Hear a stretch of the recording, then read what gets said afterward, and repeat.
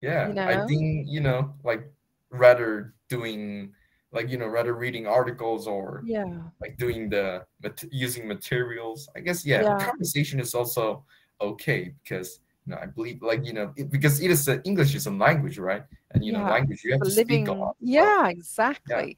And you know, you can read a book by yourself. You can listen to a podcast by yourself. You can do some exercise in a book by yourself. But this is the unique thing about Cambly. You get to talk to a real person, which is a exactly. real test of your listening, your speaking, right? Yeah, yeah, and I'm you know I'm meeting a completely new person that I've never met before, right? And we and now we're, I'm I'm talking in English for you know I have to I must you know talk in English for 30 minutes, right? Like there's no there's no English teacher. So yeah, I think Yeah, it is it is really good. And also like you it know is. articles. I, I can also read English articles by myself, you know, after the class. Yeah, You know, going to the you know, I can find a lots of English articles on yeah, internet, right? So yeah. yeah, I guess The, the other thing is, you know, with, with just talking, I think it's great for all the reasons we said, but the the only the downside, the negative thing is that maybe you don't learn enough vocabulary. But oh you yeah, know, you can do that yourself, honestly, right? exactly. Or maybe we can try to talk about the things that, you know, we like people usually don't talk, like maybe it could be a specific subject. So yeah. Yeah, that's a good if idea we as well. yeah. So if I want to specialize in vocabulary, we can also do that in Yeah, the, choose a you know, by through yeah, through conversation, through like, you know, rare topics, right? So Yeah. Some some that's what I do. That's actually exactly what I do with a lot of my students. They choose a topic like art or sport or something, politics or something, and then we stay on that topic for the next sort of four classes. So so they practice vocab. We do a little bit of reading just to get ideas and vocab, but then we stay on that theme, that topic. It's a really good idea. yeah, Yeah. yeah, So listen, your English is so good. Oh, really? So yeah, really good, especially for your age. Really Oh, good. So how do you manage at school? Because are you ahead of the class? Uh, What do you do at school in English? so in school, uh, we're learning, you know, English uh, grammar and you know English vocab. So that's what I, that's how I learn English in school. But Right. yeah, and I'm just yeah following the English class I was, but you know, but it's not that boring. Yeah, it is okay. Yeah, I Yeah. still enjoy English class, but I enjoy English more when I'm studying by myself. Like when I'm Yeah. watching uh, English YouTube videos or when I'm listening to English podcasts. Yeah. Yeah, I guess those are more interesting because I can always choose a topic that I want to listen, or if I'm if I want to speak about, maybe if I'm I've got I've got a massive it's going it's going black outside. We have a massive storm overhead. I can hear the oh. starting. oh you my see- god. It's it's going dark. When I when I opened the classroom, it was quite light and bright, and it is literally going black outside. Yeah, storm. That is Crazy terrible. weather. Like maybe Crazy yeah. weather. Sometimes you feel scared, right? Because like you know when there's a huge storm, like the windows start to shake Yeah, really hard, right? And sometimes here in Bali, when you get the thunderstorms, the thunder is so loud it it it deafens you. You know, oh, oh and my God. actually, if it does start bad, I'll unplug from the power because it's actually quite dangerous to be, you know, plugged in and touching your laptop when it's this kind of electrical storm. Yeah. Yeah, it's we've had crazy weather recently. Really, really big storms. Oh, Yeah. is there a is there usually a huge storm like in Indonesia, Bali? We we do because it's it's tropical, right? It's a Oh. tropical climate, but the climate is changing so much. It used to be six months. There are no four seasons here because it's tropical. So it's it's either hot and dry, not raining, or it's hot and wet, raining. But the rainy season always used to start in September. So you'd be September, October, November, December, January, February with rain and then stop.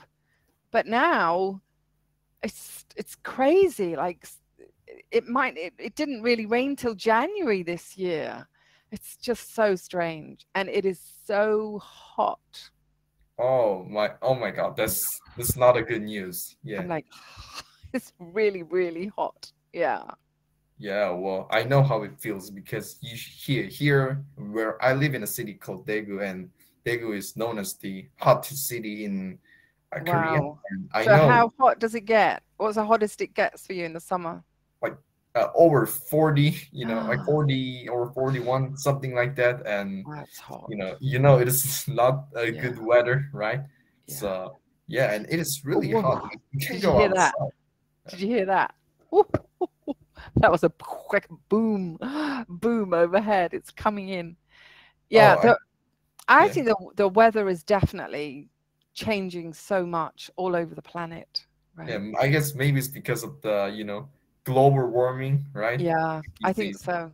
My sister lives in France, and when she first moved to France, the hottest it was in the summertime was 35, 36.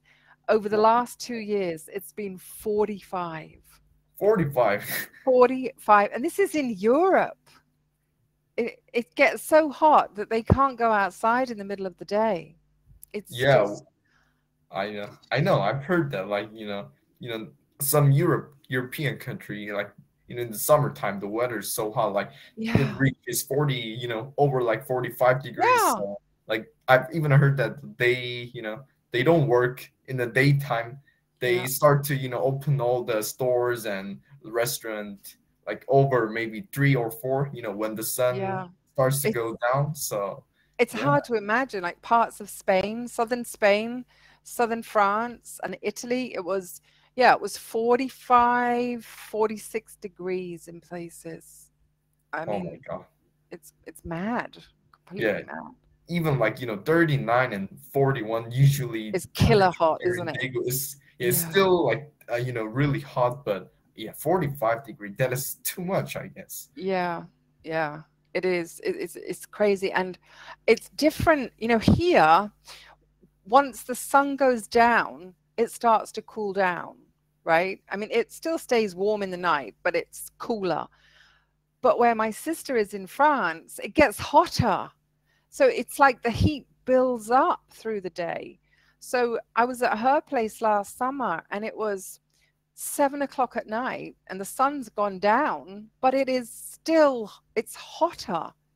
It's it's really hard to li- to live in it as it gets so hot. wow wow Yeah. I, yeah I, I i guess you know you guys can't live without a you know Oh. aircon or Yeah, like- but that's the thing, right? In Europe, people don't have air cons. oh they don't have aircons No, because they never had that kind of temperature. Like in England, nobody in England has an aircon. Houses in England are all built to cope with cold, not with the heat. They never had heat like that before. It's a it's a new such a new experience for them. oh Yeah. oh my god i guess Oh, they had a they had a terrible time you know with Yeah. aircon I Yeah. even with like you know 38 degree yeah 38 degree it was just not that high compared to europeans temperature but yeah we still need aircon like yeah I, I feel you know I, I i was like you know i can't live without aircon i'm, I'm going i will you know how do i say i will die and you know dry melt. You Yeah, just melt like- like an ice cream. So yeah. have you traveled? Have you been have you been overseas? Oh yeah i i Where have you uh, been? i went outside of korea two times Yeah. yeah, And Where did you go? yeah, the place I what the place I've been saw uh Guam and Saipan. Yeah, those are the Oh, okay. I've I've never been to Guam. It's supposed to be really pretty, right? Oh yeah, it is. It is a, a really beautiful island. And also the good thing is that Guam was wasn't that far from uh, Korea, so it was Right. easy for us to get there. And yeah, we had a lot of fun.